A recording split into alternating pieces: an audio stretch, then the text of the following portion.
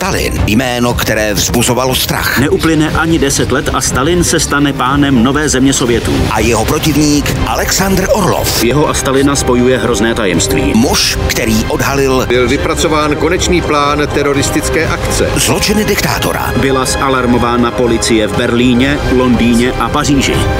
Tajný život Josefa Stalina. V pátek ve 20 hodin na CS History.